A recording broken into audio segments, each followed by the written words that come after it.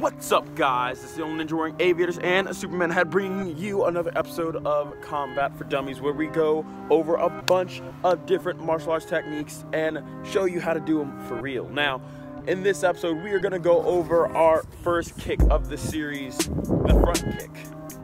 Roll that intro.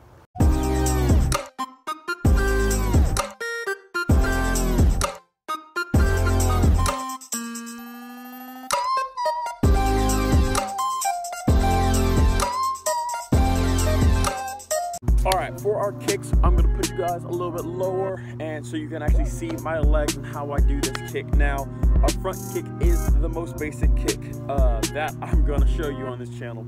And uh, it's pretty simple for you guys, but I'm gonna break it down, make it super easy so that we have no misconceptions. Now, so guys, I'm gonna be using my right leg. Obviously, you can practice this for whatever leg you want to. You just have to, you know, switch it to make it work for whichever leg you're dominant on. Now, our front kick is gonna be a couple basic steps.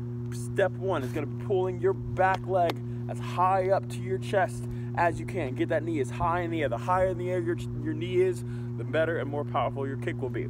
Now, once that kick is in the air, you're going to take the bottom of your foot, the ball of your foot, and you're going to aim it at your target. Bang, just like that, just like that. Now, you're going to push it straight out using your hips as power to push that kick at your target. Bang, just like that. Now, one thing you're gonna wanna make sure is that you do not kick with your toes. It's really common for people to wanna do this or like a flip, like a Michael Jackson flip kick. That is not super helpful. That's a good way to break your toes if you're kicking anything with any kind of texture to it. Any, you know, door, if you're trying to kick down a door, if you're trying to break someone's leg, it's a good way to break your toes and you don't wanna do that. So to keep you from breaking your toes on impact, pull your foot back, flex your toes towards your head, and then bang, fire it out just like that. Watch one more time. Bang, bang, just like that. Now, guys, that's gonna be pretty simple, obviously. Just again, I cannot stress this enough. I see too many people doing this. Do not flip kick.